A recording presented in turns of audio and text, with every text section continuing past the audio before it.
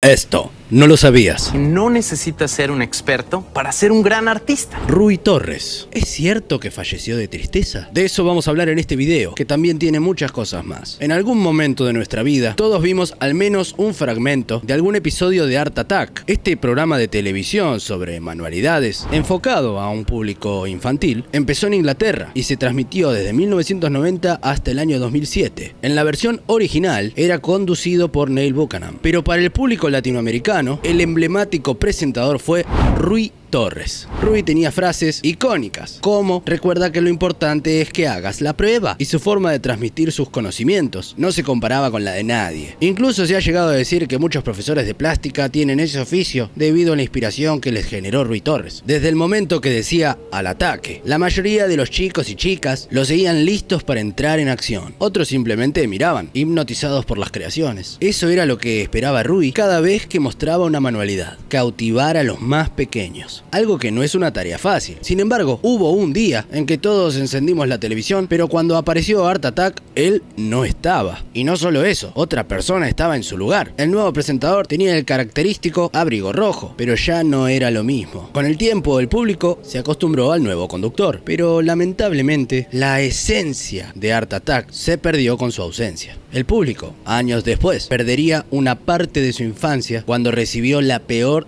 de las noticias. Una noticia que quedó grabada en nuestras memorias. Era el 24 de febrero del año 2008, el día que Rui Torres falleció. Antes de empezar, me gustaría pedirte que compartas tus anécdotas relacionadas con Art Attack.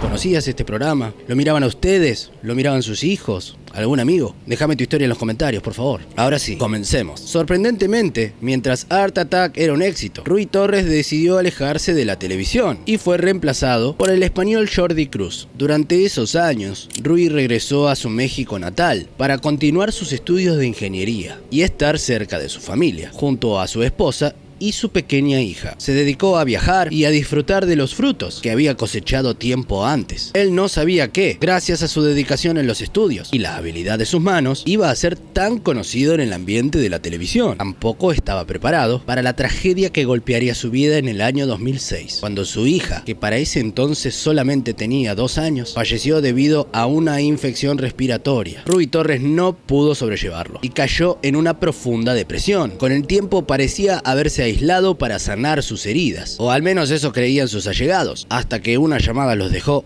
estupefactos. Para entender esta llamada, Empecemos por el principio. Rui Torres, conocido como Rudy Torres en Art Attack, nació el 30 de diciembre de 1976 en Ciudad de México. Su familia de descendencia española y albanesa siempre fomentó el estudio en el hogar. Su hermana mayor, Maricruz Torres, tuvo una carrera impresionante. Fue maestra en administración, licenciada en psicología y llegó a ser directora del Centro de Desarrollo Profesional de ITAM. Desde pequeño Rui veía cómo los libros llenaban la casa de sus padres y su hermana. Creció con el deseo de tener una carrera prometedora y desde muy joven destacó por sus sobresalientes notas. Su desempeño en la escuela sorprendía tanto a los profesores como a los directivos, quienes años más tarde vieron cómo se graduaba con honores. Después de completar sus estudios secundarios en el colegio de Green Hills, Rui ingresó a la Universidad Nacional Autónoma de México en el año 2001, donde logró uno de los mejores puntajes en el examen de admisión. Al igual que su hermana, fue un estudiante brillante en la UNAM, donde cursó la carrera de Ingeniería en Telemática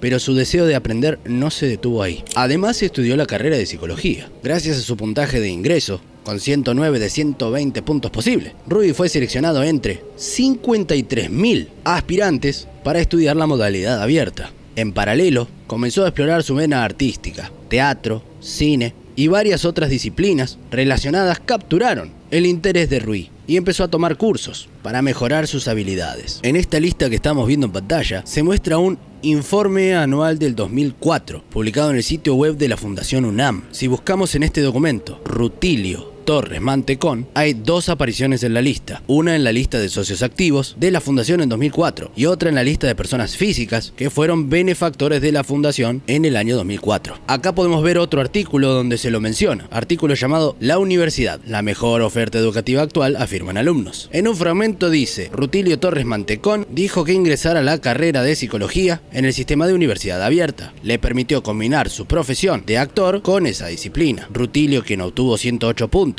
Puntualizó que si bien es cierto que los mejores profesores están en la UNAM, la excelencia también depende del alumno. Acá podemos ver la imagen del obituario, donde se encuentran tres notas necrológicas, entre ellas la de Rui Torres, con una foto que claramente se nota que es él. Su oportunidad en la televisión llegó en el año 2000, cuando Disney compró los derechos, para realizar versiones internacionales de Art Attack. Después de revisar perfiles y currículums, los productores vieron algo especial en él. En la biblioteca central de la UNAM, Rui había trabajado en el mantenimiento de murales, un trabajo minucioso y reconocido. Además destacaba por su contribución en la conservación de obras del famoso muralista Diego Rivera, del quien ya hemos hablado en este canal. Intrigados por su perfil, los productores decidieron conocerlo en persona y ver si tenía la capacidad para enseñar delante de una cámara. No se equivocaron. Rui Torres impresionó, no solo por su conocimiento, sino por su interés en cómo los niños aprendían, algo que lo hacía ideal para este proyecto. Fue así como Rui se convirtió en el conductor de la versión en español de Art Attack, grabando dos temporadas en Londres, entre el año 2000 y el año 2002. El éxito fue inmediato. En una época en la que el Internet aún no era tan accesible, Art Attack se convirtió en una fuente de exploración para quienes querían explorar su creatividad, utilizando materiales reciclables y desarrollando la habilidad para crear cosas con sus propias manos. Para el año 2003, después de grabar en el Reino Unido, Ruby regresó a México para seguir sus estudios universitarios y pasar más tiempo con su familia. Jordi Cruz tomó su lugar en el programa, doblado al español neutro para el público latinoamericano. Rui fue nombrado el mejor estudiante del Instituto Tecnológico Autónomo de México, ITAM, y gracias a sus calificaciones obtuvo la prestigiosa beca Bailers. Tras su salida de Art Attack, Rui se retiró de la vida pública y se mantuvo en el anonimato. Sin embargo, quienes crecieron viéndolo en televisión soñaban con reencontrarse con él y lamentablemente ese deseo era imposible de cumplir. Entre 2004 y 2008, pocos sabían de su vida privada, aunque algunos conocidos afirmaban que Rui se había casado con una mujer llamada Elena y juntos tuvieron una pequeña Su vida volvió a ser mencionada en los medios cuando surgieron rumores sobre su fallecimiento. En en agosto del 2008, la revista Conexión, que es una revista producida por el ITAM, publicó en su sección de obituarios una nota dedicada a él, la comunidad del ITAM le ofrece a la familia Torres Mantecón su más sentido pésame por el fallecimiento de Rutilio Torres, hermano de Maricruz Torres, acaecido el pasado 24 de febrero. La noticia de su fallecimiento fue apenas mencionada por algunos medios, pero con el tiempo y las redes sociales, también foros en línea, comenzaron a especular. No se conocen detalles exactos sobre las causas de su fallecimiento, lo que dio lugar a múltiples teorías. Una de las más comunes afirma que el fallecimiento de su hija en el año 2006 por una neumonía en un viaje familiar lo sumió en una depresión de la que nunca logró recuperarse, lo cual tiene mucho sentido. Otros sostienen que pudo haber caído en el abuso de sustancias como una forma para lidiar con esa tristeza. En 2017 surgió un rumor. Un perfil de Facebook con el nombre Rutilio Torres Mantecón, creado en 2016, mostraba fotos que parecían recientes. Algunos creían que el perfil realmente le pertenecía a Rui y que él seguía vivo, aunque más adelante el perfil fue dado de baja. En una entrevista del 2021, Jordi Cruz, el sucesor de Rui Torres en Art Attack, confirmó el fallecimiento de Rui Torres. En una charla en un programa, llamado El sentido de la birra. Finalmente, en 2022, Art Attack regresó con una nueva versión, Art Attack Modo Desafío, conducido por influencers como Andrax, Franco Ceres y Liz Rangel,